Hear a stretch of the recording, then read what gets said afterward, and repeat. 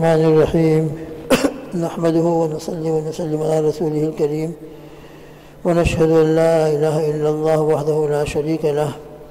ونشهد أن سيدنا وحبيبنا وسندنا ومولانا محمد عبده ورسوله. صلوات الله وسلامه على سيد الأولين والآخرين إمام الأنبياء والمرسلين قائد الغر المحجلين سيدنا محمد وعلى آله وأصحابه وأزواجه وأتباعه أجمعين. وبارك وسلم تسليما كثيرا كثيرا كثيرا. أما بعد فأعوذ بالله من الشيطان الرجيم. بسم الله الرحمن الرحيم. ياسين والقرآن الحكيم. إنك لمن المرسلين. على صراط مستقيم. تنزيل العزيز الرحيم. صدق العظیم بزرگ دوستوں آج کی ہماری تلاوی کا پارہ ٹوینٹی تھری تیئیس میں پارہ ہے۔ کل سورہ یاسین شریف کا ایک رکو ہوا ہے، دو رکو اور آج انشاءاللہ وہ چلے گی۔ یاسین۔ حدیث پاک میں اس کے بڑے زبردست فضائل بیان فرمائے گئے ہیں۔ چنانچہ ایک حدیث میں آتا ہے، رسول اللہ صلی اللہ تعالیٰ علیہ وسلم نے ارشاد فرمایا، ان لکل شعین قلبً ہر چیز کا ایک دل ہوتا ہے۔ قلب ہوتا ہے، ہارٹ ہوتا ہے، جس پر اس کی زندگی کا دار و مدار ہوتا ہے۔ وقلب حاضر، وقلب القرآن یاسین۔ قرآن کا جو قلب ہے، وہ یاسین ہے۔ قرآن کا قلب یاسین ہے۔ یاسین کو قرآن کا قلب کہا گیا۔ کیا مطلب؟ مفسرین نے اس کا یہ مطلب بیان کیا ہے کہ قلب جو ہوتا ہے، یہ انسانی زندگی کا اور جتنے بھی جاندار مخلوقات ہیں، ان کی زندگی کا دار و مدار قلب کے اوپر ہوتا ہے، دل کے اوپر ہوتا ہے اور دل جتنا صحت مند ہوتا ہے، تندرست ہوتا ہے، اس کے جسمانی صحت بھی اچھی ہوتی ہے۔ اور دل اگر خدا نخواستہ بیمار ہو جاتا ہے، دل کمزور ہو جاتا ہے، تو قلب کے کمزوری کے نتیجے کے اندر انسان کا جسم بھی کمزور ہو جاتا ہے۔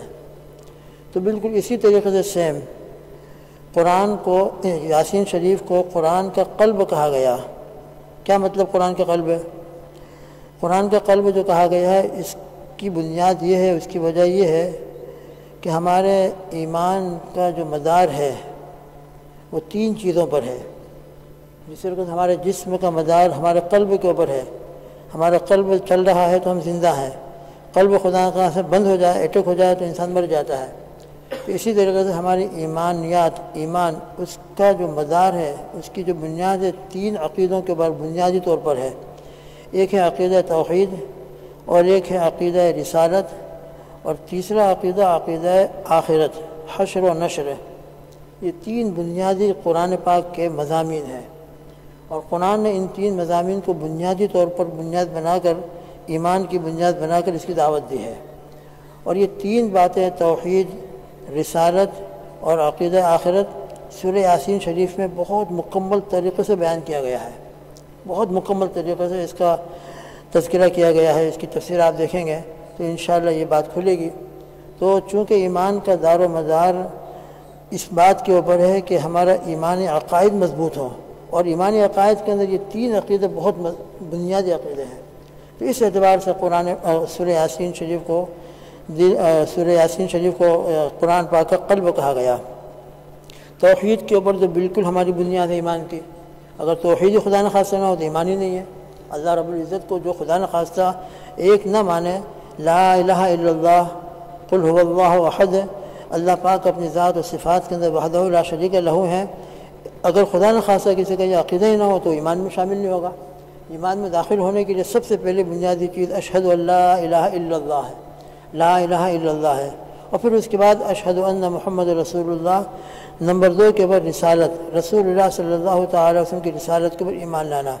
اور پھر نمبر تین کے اوپر یہ بات، دل کے اندر اچھے طریقے سے ایمان اور یقین کے ساتھ مضبوط جمانا ہے کہ ہماری زندگی صرف یہ دنیا کی زندگی نہیں ہے، کہ انسان دنیا میں آئے گا کھایا پی گا اور مر جائے گا، مٹی بن کر ختم ہو جائے گا۔ جیسے کفار یہی کہا کرتے ہیں اور اسی کے اوپر ان کی پوری زندگی کا مزہ رہتا ہے، لہذا وہ اس زندگی کو سب کچھ سمجھتے ہیں۔ ایمان والے کا جو عقیدہ ہے، وہ یہ ہے کہ ایمان والا دنیا کے اندر اپنے آپ کو ایک مسافر سمجھتا ہے۔ اور اس کا عقیدہ یہ ہوتا ہے کہ مرنے کے بعد وہ مٹی بن کر ختم نہیں ہو جائے گا۔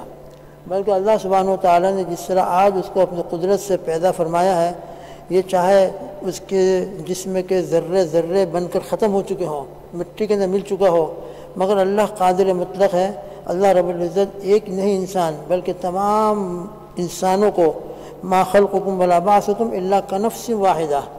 فرماتے کہ اللہ رب العزت کے لیے تمام انسانوں کو دوبارہ زندہ کرنا اور تمام انسانوں کو پیدا کرنا ایسا ہے جیسے ایک نفس کو بنانا۔ ایک انسان کو پیدا کرنا اور ایک انسان کو دوبارہ زندہ کرنا اللہ کے لیے جتنا آسان ہے، اتنا پوری مخلوقات کو پیدا کرنا اور دوبارہ زندہ کرنا آسان ہے۔ اللہ کے لیے کوئی مشکل نہیں ہے۔ اور عقیدہ آخرت کے اوپر ہمارا بہت بڑا مدار ہے۔ یہ عقیدہ ہمارے اندر جتنا مضبوط ہوگا۔ اور عقیدہ کا مطلب کیا ہوتا ہے؟ آخرت میں دوبارہ زندہ ہونا ہے۔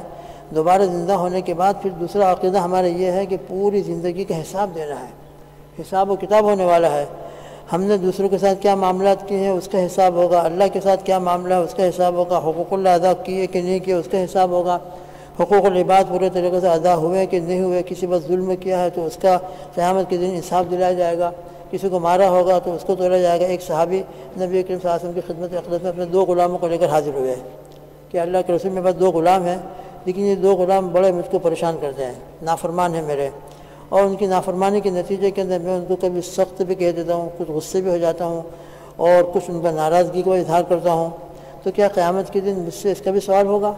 کہ میں ان پر جو غصے ہوتا ہوں، تو اللہ کے نبی صلی اللہ تعالیٰ اور اس نے شاد فرمایا، تم ان پر جتنا غصہ کرو گے ان پر جتنا سخت الفاظ استعمال کرو گے جیسے کہ انسان غصے کے وقت میں استعمال کرتا ہی ہے، تو قیامت کے دن تمہارے الفاظ کو اور ان کی نافرمانیوں کو تولا جائے گا۔ ان کی نافرمانی کتنے درجے میں ہے؟ اور تم نے ان کو کیا کیا الفاظ کہے تھے، کیا کیا اس میں غصے کا اظہار کیا تھا، ان دونوں کو تولا جائے گا۔ اگر تمہارے الفاظ کم رہے، ان کی نافرمانی زیادہ رہی، تب تو خیر کامیاب ہو جاؤ گے۔ سیم رہے تو ٹھیک ہے، لیکن خدا نہ خاصا تمہارے الفاظ اور تمہارے غصے کی مقدار زیادہ ہو گئی، ان کی نافرمانی کے مقابلے میں، تو اس کا تم سے سوال ہوگا۔ اور اس کی وجہ سے تم پر آداب بھی ہو سکتا ہے۔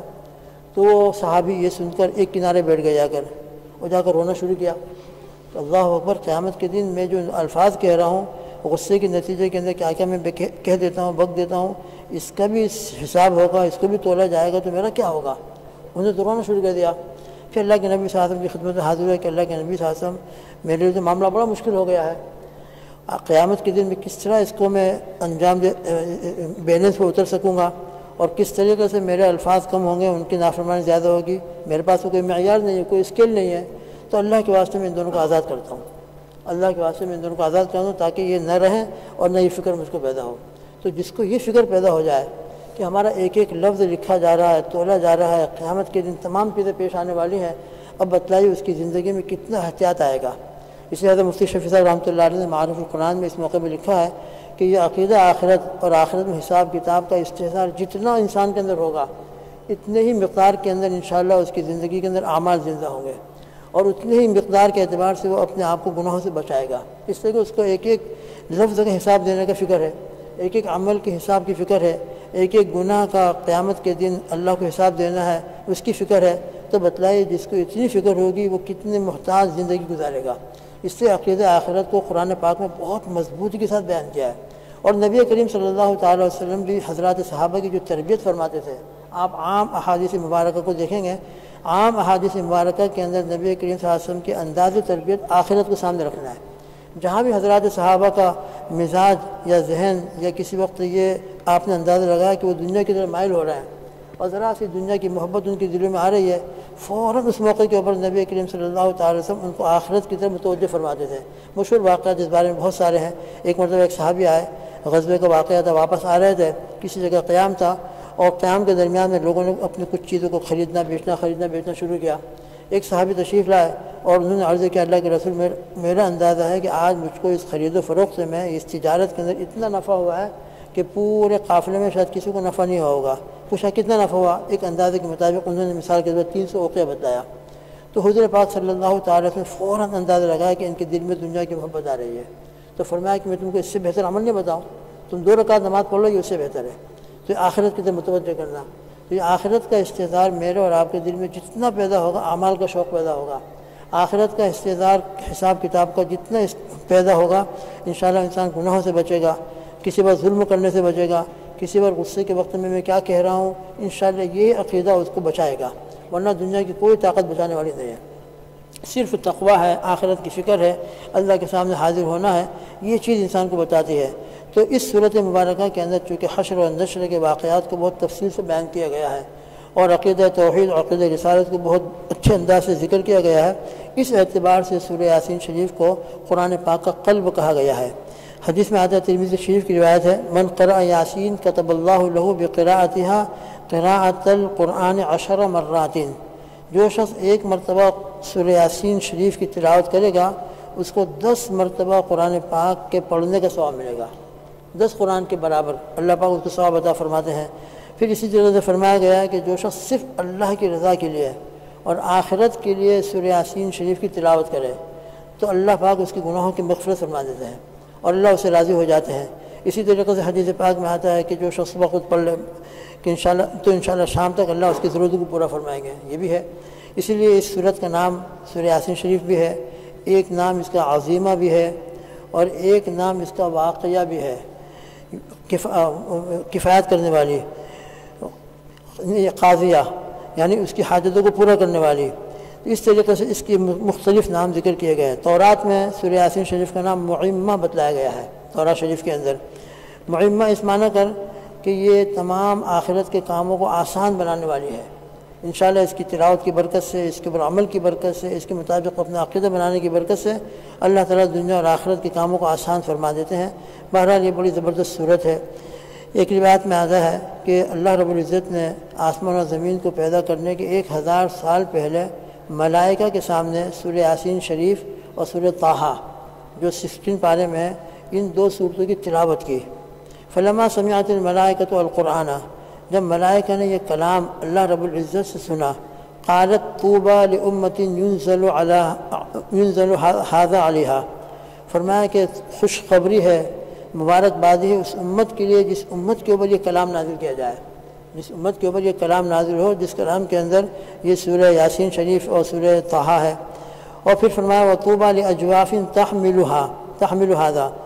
اور مبارکبادی ہے، خوشخبری ہے ان سینوں کے لیے، ان پیٹوں کے لیے جو اس کو اپنے سینے میں اٹھائے، جو ماشاءاللہ قرآن پاک کے حافظ بن جائے، یا کم از کم سورہ یاسین شریف کے حافظ بن جائے، سورہ طحا کے حافظ بن جائے، تو ان کے لیے خوشخبری ہے۔ وہ طوبہ لسنت تتکلم بحادہ رواہ دار میں اور خوشخبری ہے ان زبانوں کے لیے جو زبانیں سورہ یاسین کی تلاوت کریں سورہ طحا کی تلاوت کریں تو بہرحال بڑی زبردست صورت ہے، بڑی برکت والی صورت ہے۔ اسی لیے حدیث پاک میں آتا ہے کہ تم اس صورت کو اپنے مردوں پر پڑھا کرو۔ کیا مطلب مردوں پر پڑھنے کا؟ جس کا آخری وقت چل رہا ہو، اس وقت یہ سورہ یاسین شریف پڑھی جائے تو انشاءاللہ جس کا آخری وقت چل رہا ہو، اس سورہ یاسین شریف کی برکت سے اللہ پاک اس پر موت کی سختی کو آسان فرماتے ہیں۔ اور امید ہے کہ اس کی برکت سے اللہ اس کو حسن خاتم عطا فرمائے۔ تو مردبہ پڑھنے کا ایک مطلب یہ بھی ہے، اور ایک مطلب یہ بھی ہے کہ ان کے انتقال کے بعد پڑھو۔ ان کے انتقال ہو گیا، تو ان کے سال ثواب کے لیے پڑھ کر ان کے سال ثواب کرو۔ تو بہرحال اللہ رب العزت نے اس صورت کو بڑی زبردست فضائل فضیلت والا بنائی ہے اور اس کے زبردست فوائد و برکات ہیں۔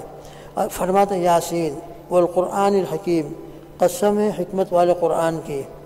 ان نقل لمن المرسلین، حکمت والا قرآن۔ قرآن جو ہے بالکل محکم ہے۔ لا یاتی الباط المبین یدہ ولا من خلفی اتنا محفوظ ہے اور اتنا محکم ہے کہ اس کے آگے یا اس کے پیچھے سے یا اس کے اوپر سے نیچے سے کہیں بھی باطل اس کے پاس نہیں آ سکتا۔ اللہ رب العزت نے اس کی حفاظت کا ایسا وعدہ فرمایا ہے کہ ہم پورے یقین کے ساتھ کہہ سکتے ہیں کہ نبی کریم صلی اللہ تعالیٰ علیہ وسلم پر جو قرآن نازل ہوا تھا، آج چودہ سو سال گزرنے کے بعد بھی بیائی نہیں وہ قرآن الحمد للہ ہمارے ہاتھوں میں ہے، حافظوں کے سینوں میں ہے۔ اللہ نے اس کی حفاظت کا وعدہ کیا ہے۔ اس سے پہلے جتنی کتابیں آسمانی نازل ہوئی ہیں ان کی حفاظت کا اللہ نے وعدہ نہیں کیا تھا، بلکہ وہ کتابیں ان کو، نبی کو، پھر اس کے بعد ان کی امت کو دے دی گئی کہ تم جانو اور تم اس کی حفاظت کرو۔ چنانچہ نتیجہ یہ ہوا کہ ان کتابوں کی وہ لوگ حفاظت نہیں کر سکے۔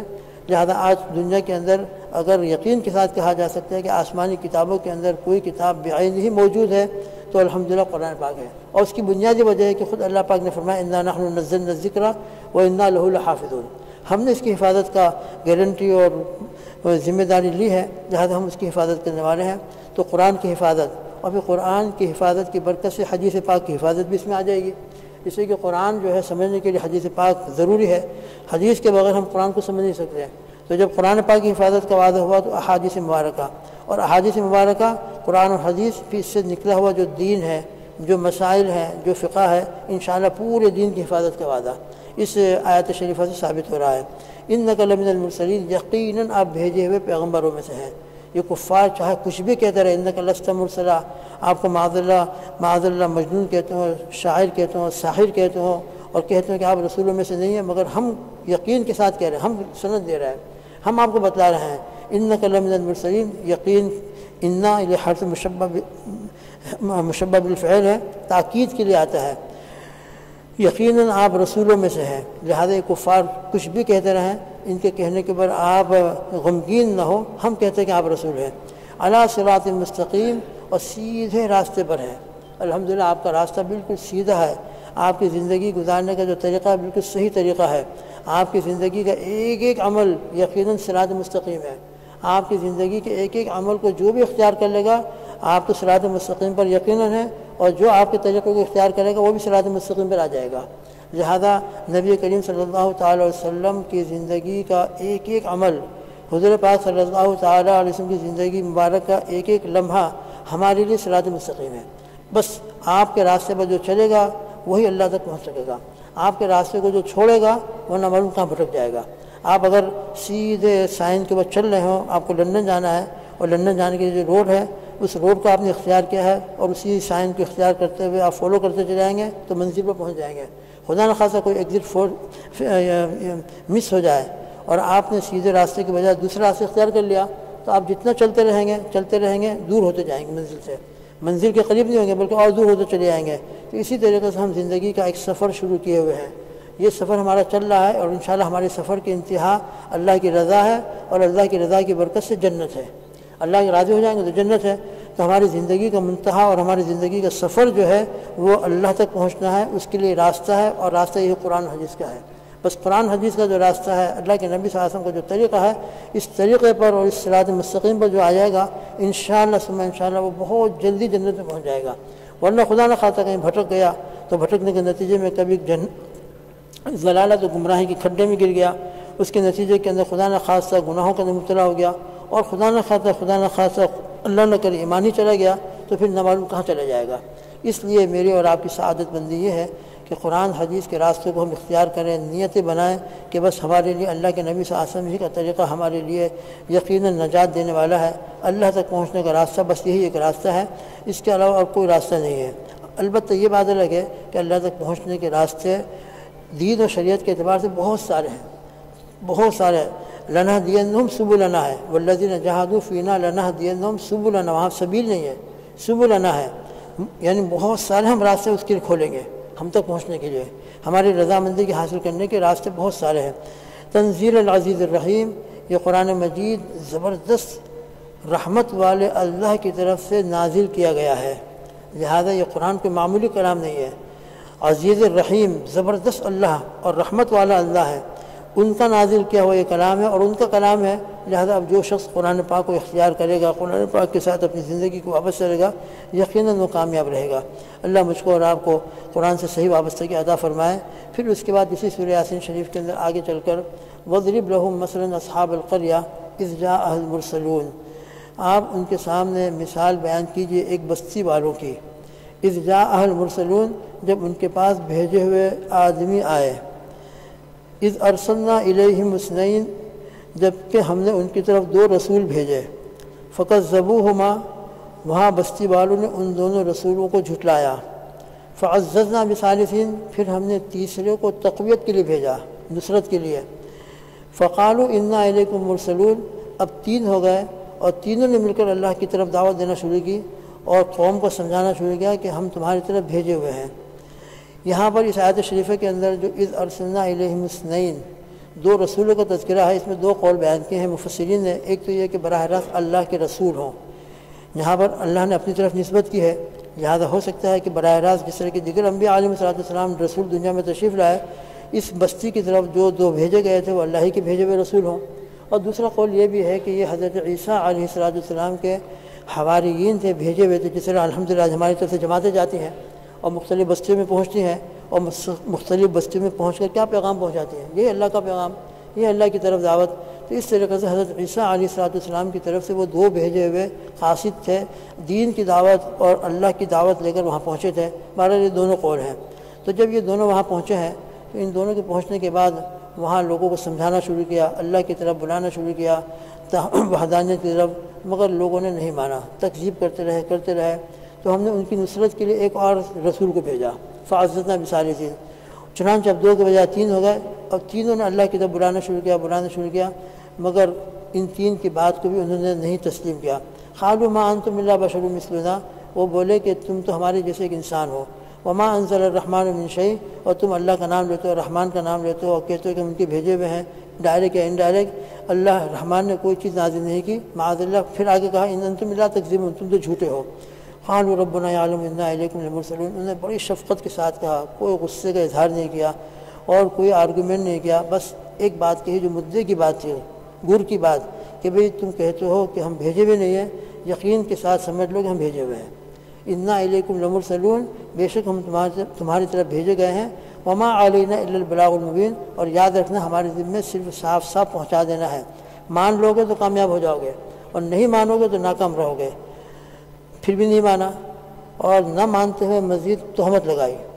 خالو اتنا تطیر نہ بکم کہنے لگے، تم تو بڑے منحوس ہو معذ اللہ۔ ہم تم کو منحوس سمجھتے ہیں۔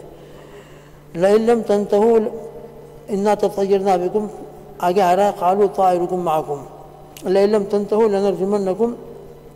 اگر اب بھی تم باز نہیں آؤ گے، جو تم دعوت دے رہے ہو، ان باتوں سے تم باز نہیں آؤ گے لنر جمن نکم تو ہم تم کو رجم کر دیں گے۔ سنسار کر دیں گے، پتھروں سے مار مار کر تم تم کو ختم کر دیں گے معذ اللہ۔ ولی احمد منا عذاب علیم اور تمہیں ہماری طرف سے دردناک سزا ملے گی۔ ان تینوں نے صرف اتنا کہا خالو تھا رکم معکم تم ہم کو منحوس کہہ رہے ہو۔ تو فرمانے لگے ان تینوں نحوست تمہارے ساتھ ہے۔ ان ذکر تم کیا تم کو نصیحت نہیں کی گئی؟ اتفاق سے لکھا ہے تفصیل میں کہ ان کو قحط بھی آ گیا تھا، یا ان کے آپس میں پھوٹ پڑ گئی تھی۔ اور اسی قحط کو یا پھوٹ پڑنے کو انہوں نے نحوست سے تعبیر کرتے ہوئے یوں کہا کہ تمہارے آنے کی وجہ سے یہ بات ہوئی ہے۔ تو ان تینوں بزرگوں نے، تینوں رسولوں نے یوں کہا ان ذکر تم کیا تمہیں نصیحت نہیں کی گئی؟ تب بھی تم ہم کو جھٹلا رہے ہو۔ بل ان تم قوم مصرفون بلکہ تم ایسی قوم ہو جو تجاوز کر رہے ہو اپنی باؤنڈری سے آگے بڑھ رہے ہو۔ بہرحال وہ دعوت دیتے رہے دیتے رہے۔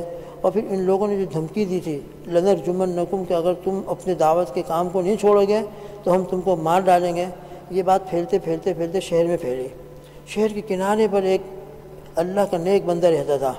وجہ امن اکثر مدینت رجل یسعا شہر کے کنارے سے ایک آدمی دوڑتا ہوا آیا۔ وہ دوڑتا ہوا آنے والا کون تھا؟ مفسرین نے ان کا نام حبیب نجار لکھا ہے۔ یہ بالکل یہ شہر کا نام ایک قول کے مطابق انتا کیا ہے جو شام کے شہروں میں سے اس زمان کے اندر بہت آباد شہر تھا۔ اور یہ شخص بالکل شہر کے کنارے رہتا تھا۔ اس کی بڑی تفصیلات کچھ بیان کی ہے اس وقت موقع نہیں ہے۔ خیر بہرحال، بات پھیلتے پھیلتے جب اس شخص کو یہ بات پہنچی کہ یہ تینوں رسولوں کو ان لوگوں نے مارنے کی نہیں بلکہ قتل کی دھمکی دی ہے، تو اس کو بڑی فکر ہوئی کہ تو اللہ کے رسول ہیں، اللہ کے پیغمبر ہیں، ان کے ساتھ خدا نہ خاصا یہ میری قوم یہ معاملہ کرے گی تو کیا ہوگا؟ چنانچہ وہ شخص دوڑتا ہوا آیا اور بڑی تیزی کے ساتھ ان کے پاس آ کر کیوں کہا خان یا قوم اتبع المرسلین۔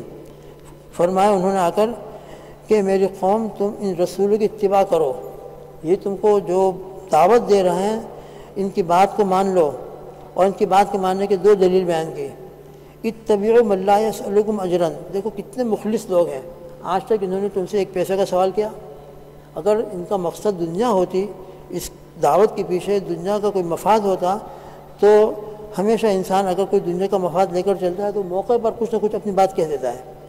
دعوت کے ساتھ اپنی بات پیش کر دیتا ہے۔ مگر بتلاؤ، آج تک تم سے انہوں نے ایک پیسہ کا بھی سوال کیا ہے؟ کوئی اجرت مانگی تم سے؟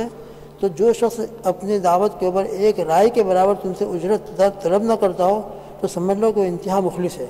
اور تم مخلصوں کا بات کو انکار کرو گے، یہ تو بڑی خطرناک چیز ہے۔ لہذا یہ مخلص لوگ ہیں، اللہ کے بھیجے ہوئے ہیں، تم ان کی اتباع کرو۔ ایک دلیل یہ بیان کی۔ اور دوسری دلیل یہ بیان کی وہ محتدون تم ان کے چہروں کو تو دیکھو۔ کتنے نورانی چہرے ہیں۔ کاذب کا چہرہ خود بخود پہچانا جاتا ہے۔ عبداللہ ابن السلام رضی اللہ تعالیٰ عنہ جب نبی کریم صلی اللہ تعالیٰ وسلم ہجرت فرما کر مدینہ منور تشریف لے گئے تھے، عبداللہ بن سلام تورات کے اور یہودیوں کے بہت بڑے عالم تھے۔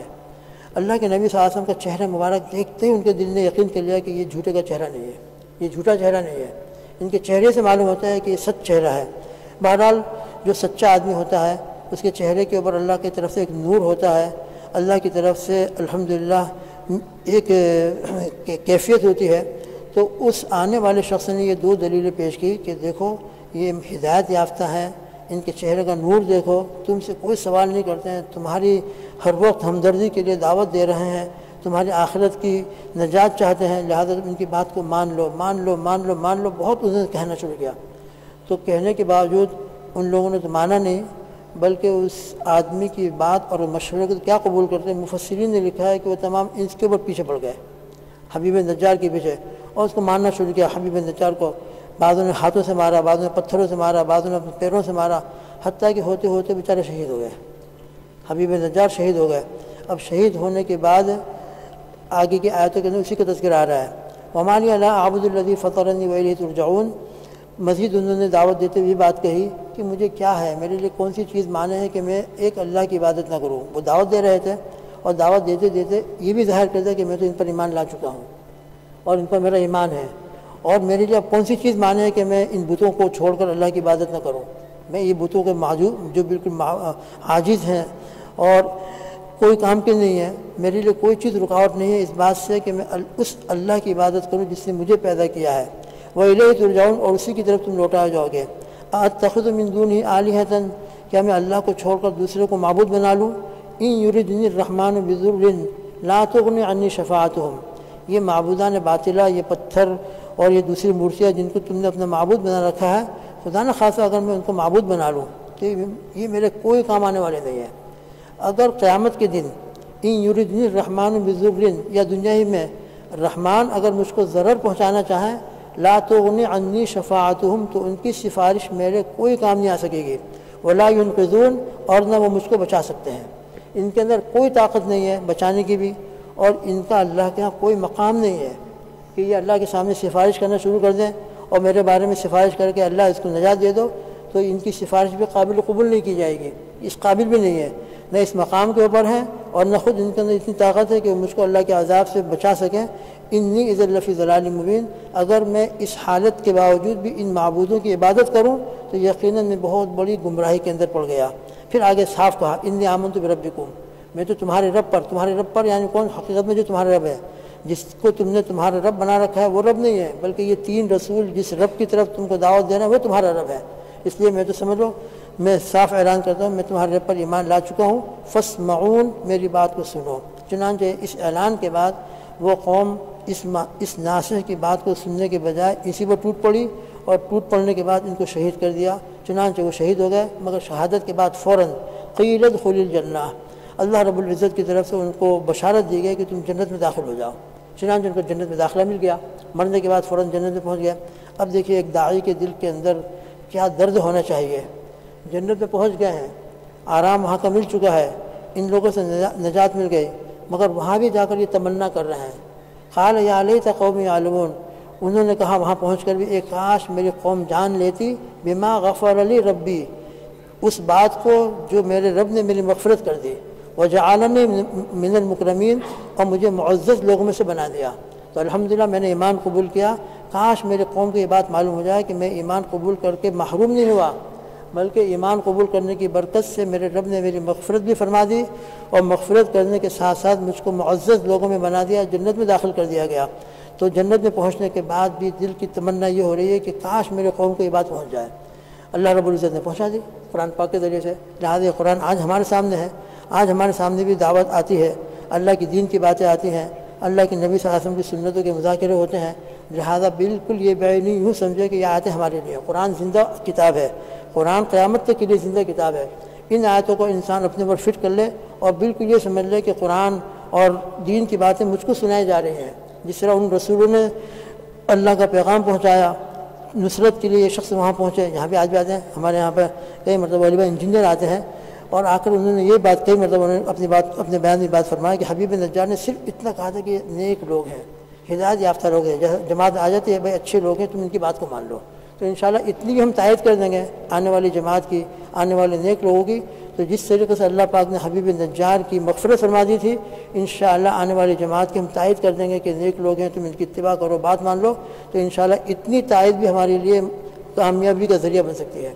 اس لیے قرآن آج ہمارے سامنے ہے، دین کی دعوت ہمارے سامنے ہے۔ بار بار ہمارے سامنے اللہ کا پیغام سنایا جاتا ہے۔ اللہ مجھے بھی توفیق دے، آپ کو بھی توفیق دے۔ اس لیے دوست بزرگوں، زندگی بہت مختصر ہے۔ عقیدہ آخرت جس کا بھی شروع میں تذکرہ ہوا تھا، اللہ کے سامنے مجھے بھی حاضر ہونا ہے، ہم سب کو حاضر ہونا ہے، اور قیامت کے دن بس اللہ کے حبیب وسلم ہی کا طریقہ ہمارے لیے نجات کا ذریعہ بن سکتا ہے۔ اللہ کے نبی صلی اللہ علیہ وسلم کی سنت ہی ہمارے لیے اللہ سے قرب کا ذریعہ بن سکتی ہے۔ ایک ایک دین کی بات ہمارے لیے انشاءاللہ جنت میں پہنچنے کا ذریعہ بن سکتی ہے، ورنہ غیروں کے نقلیں، غیروں کے طریقے، غیروں کے طور طریق، چاہے شادی میں ہو چاہے غمی میں ہو چاہے ہماری لائف کے اندر ہو، کھانے میں ہو، پینے میں ہو، غرض زندگی کی کسی بھی عمل میں ہو، تو دوست بزرگوں، غیروں کا طریقہ ہم کو جہنم میں پہنچانے والا ہے۔ اور یقیناً یقیناً اللہ کے نبی صلی اللہ علیہ وسلم کی سنت ہم کو جنت میں پہنچانے والی ہے۔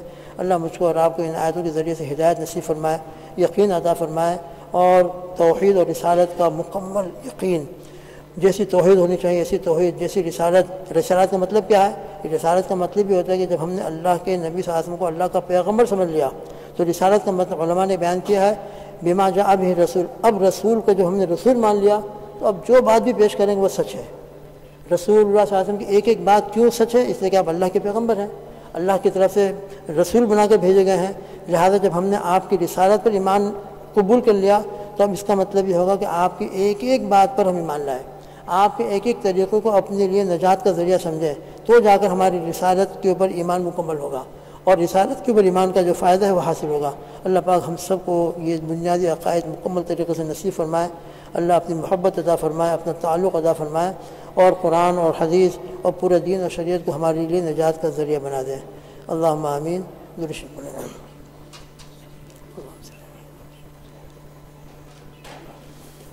بسم اللہ الرحمن الرحیم الحمد للہ رب العالمین والعاقبۃ للمتقین والصلاة والسلام على سید الانبیاء والمرسلین سیدنا محمد وعلى آلہ واصحابہ وازواجہ واتباعہ اجمعین یا حی یا قیوم یا ذا الجلال والاکرام یا حدی یا رحیم اے اللہ ہمارے رب ہے یا اللہ، آپ ہی نے ہم کو پیدا فرمایا، آپ ہی کے فضل سے، آپ کے کرم سے، آپ کی رحمت سے ہم کو ایمان کی دولت ملی ہے۔ یا اللہ، یہ قرآن آپ کی طرف سے حضر پاک صلی اللہ تعالیٰ علیہ وسلم واسطے سے ہم کو ملا ہے۔ یہ دین و شریعت کی نعمت جس کے بارے میں آپ نے الم اکمل تو دین اکم اکمل تو علیکم نعمت ہی فرمایا ہے وہ رضیۃ الکم الاسلام فرمایا ہے کہ اسلام کے، اسلام میں نے تمہارے لیے پسند فرما لیا ہے۔ یا اللہ، اسلام ہماری زندگی میں کامل طریقے سے آ جائے۔ یا اللہ، عقیدہ توحید، عقیدہ رسالت، عقیدہ آخرت مکمل طریقے سے ہماری زندگی میں زندہ ہو جائے۔ اور اس کا استحدار ہمیشہ ہمارے دلوں میں باقی رہے۔ اور اس کے استظار کی برکت سے اللہ آپ کے ساتھ تعلق قائم ہو جائے، آپ کی وحدانیت کا یقین ہمارے دلوں میں آ جائے۔ آپ ہی کرنے والے ہیں، آپ ہی حاجت روا ہیں، آپ ہی مشکل کشا ہیں، آپ ہی بیماروں کو اور دنیا کی ہر مشکلات کو آسان کرنے والے ہیں۔ آپ کے سوا کوئی نہیں ہے۔ کرنے دھرنے والی ذات اللہ صرف آپ ہی کی ہے۔ ہدایت اور استقامت صرف آپ ہی کی طرف سے مل سکتی ہے۔ یا اللہ ہم سب کی ہدایت کے فیصلے فرما دے۔ استقامت کے فیصلے فرما دے۔ ہمارے بچوں اور نسلوں کی ہدایت اور استقامت کے فیصلے فرما دے۔ یا اللہ اس مبارک وقت کی برکت سے ہماری اور پوری امت کے لیے ہدایت کے فیصلے فرما دے۔ دین کی جتنے کام ہو رہے ہیں، سب کام کرنے والوں کو اخلاص عطا فرما دے۔ اور ہم کو بھی یا اللہ ذریعے کے طور پر محض اپنے فضل و کرم سے قبول فرما لے، ہماری نسلوں کو قبول فرما لے۔ یا اللہ ہمارے دل کے زمین کو نرم فرما دے۔ یا اللہ، یہ رحمت کی ہوائیں رحمت کی بارش ہمارے سامنے برس رہی ہے۔ یہ رمضان کا مبارک مہینہ ہے۔ یا اللہ، یہ روزوں کی برکتیں ہیں۔ یا اللہ، ہمارے دل کو آپ نرم فرما دیجیے اور رمضان کی برکت سے اس نرم دل کے اوپر یا اللہ، ایمان کے بیج کو اس طریقے سے جما دیجیے اس طریقے سے جما دیجیے کہ اللہ آپ کا دھیان کے سوا کسی کا دھیان باقی نہ رہے اور ہمارا یقین بن جائے کہ ہماری کامیابی صرف اور صرف دین پر عمل کرنے میں ہے۔ دین کے سوا کسی بھی طریقے کو اختیار کرنے سے ہم آپ کے قریب نہیں بلکہ دور ہوتے چلے جائیں گے۔ جنت کے راستے سے قریب نہیں بلکہ دور بھٹکتے چلے جائیں گے۔ یا اللہ، اس کا یقین ہم کو عطا فرما دے اور اس یقین کے مطابق ہماری زندگیوں کو بنا دے، ہمارے ایک زندگی کے ایک عمل کو بنا دے۔ یا اللہ، بہت لجاجت کے ساتھ، بہت عاجزی کے ساتھ، بہت محتاجگی کے ساتھ یا اللہ ہم دعا کرتے ہیں، آپ سے سوال کرتے ہیں، فقیرانہ، سائلانہ، محتاجانہ، یا اللہ ہماری ایمان کی حفاظت فرما، ہمارے لیے ایمان کی حفاظت کے فیصلے فرما، ایمان والی زندگی، ایمان والی موت عطا فرما، آپ کا تعلق عطا فرما، آپ کا عشق و محبت عطا فرما، یا اللہ آپ کے ذات عالی کی برکت سے ہماری زندگی کی اصلاح فرما دے، ہمارے اعمال کی اصلاح فرما دے، ہمارے قلب کی اصلاح فرما دے، دنیا کی محبت اور رضائل سے جتنے اخلاق رضیلہ ہیں، عجب و قبر ہے، غرور، فخر، جلسی، حسد و کینہ، حب حب جاں، حب مال ان تمام رضائل سے ہمارے دلوں کو پاک فرما دے۔ اے اللہ، آپ کے سوا کون ہماری تربیت کر سکتا ہے؟ یا اللہ، کوئی تربیت کر نہیں سکتا، ہماری تربیت فرما دیجیے یا اللہ، رمضان کی برکت سے ہم کو تقوی عطا فرما دیجیے آپ کی محبت عطا فرما دیجیے آپ کے حبیب پاک صلی اللہ علیہ وسلم کی محبت اور آپ کے نبی کریم صلی اللہ علیہ وسلم کی سنتوں سے محبت عطا فرما دیجیے ہماری زندگی کے ایک ایک عمل کو سنت کے مطابق بنا دیجیے کہنے والا، سننے والا سب محتاج ہے۔ یا اللہ، سب کے، سب کی ہدایت کے فیصلے فرما دے۔ اے اللہ، ہدایت کے فیصلے فرما دے، اخلاص عطا فرما دیجیے یا اللہ آپ شب قدر شروع ہونے والی ہے، مبارک راتیں شروع ہونے والی ہیں یا اللہ ہم سب کو شب قدر عطا فرما، شب قدر کی برکتیں، مغفرت عطا فرما، اے اللہ اپنے کرم سے کسی ایک کو بھی محروم نہ فرما۔ اللہ لا تجعلنا فینا شقیا ولا محروما، کسی ایک کو بھی ہمارے بچوں میں سے، ہمارے متعلقین میں سے، پوری امت میں سے، حاضرین میں سے، ہمارے ماں بہنوں میں سے کسی کو بھی محروم نہ فرما۔ سب کو نیک وقت، سعادت مند روحوں میں شامل فرما دے۔ قیامت کے دن یا اللہ نیک وقت لوگوں میں ہم سب کو حشر فرما۔ یا اللہ نبی کریم صلی اللہ تعالیٰ علیہ کی معیت میں، آپ کے زمرے میں، آپ کے لوگ الحمد کے نیچے صحابہ کے زمرے میں ہمارا حشر فرما، ہمارے ماں بہنوں کا، بیویوں کا حشر یا اللہ ازواج متحرات بناد طاہرات، ان کے زمرے میں فرما۔ مجرموں کی صف میں کھڑے ہونے سے حفاظت فرما۔ یا اللہ سور یاسین شریفی کے اندر ہے ممتاز الم مجرمون یا اللہ قیامت کے دن مجرموں کو الگ کر دیا جائے گا۔ اے اللہ، اپنے کرم سے، اپنی رحمت سے قیامت کے دن مجرموں میں ہم کو شامل نہ فرما۔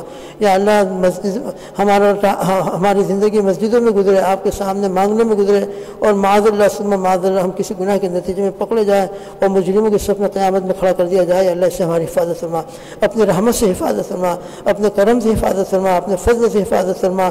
یا اللہ، جو مانگا وہ بھی عطا فرما، جو نہیں مانگا اپنے فضل سے عطا فرما۔ ہمارے حبیب پاک صلی اللہ تعالی وسلم نے ملاک مقربین، انبیاء و مرسلین نے، یا اللہ، عباد صالحین صالحات نے جتنی خیر کی دعائیں مانگی ہیں، قرآن و حدیث کی جتنی دعائیں ہیں، یا اللہ، وہ تمام دعائیں ہم آپ سے مانگتے ہیں، ہمارے حق میں حاضرین غائبین کے حق میں قبول فرما اور جتنے جتنے شرور فتن سے پناہ مانگی ہے جہنم کے عذاب سے، قبر کے عذاب سے، آپ کے غضب اور آپ کے قہر سے، حادثات سے، یا اللہ ہر قسم کے فتنوں سے دجالی فتنوں سے، مال، اولاد، عورتوں کے فتنوں سے، یا اللہ ان تمام فتنوں سے ہم سب کو پناہ عطا فرما۔ ہدایت والا راستہ ہم سب کو عطا فرما۔ نورانیت والا راستہ عطا فرما۔ دلوں میں سے ذیق و ضرارت کو ختم فرما۔ دلوں کو منور فرما۔ ہمارے جسم کے ایک اقبال کو اعمال صالحہ کے نور سے، کلمات کلمت طیبہ کے نور سے منور فرما۔ قرآن پاک کے ساتھ صحیح تعلق عطا فرما اللہم انا نسألك من رحمتك التي وسعت كل شيء ان تغفر لنا۔ اللهم انس وحشتنا في قبورنا۔ اللهم ارحمنا بالقران العظيم واجعله لنا اماما ونورا وهدى ورحمه اللهم ذكرنا منه ما نسينا وعلمنا منه ما جهلنا۔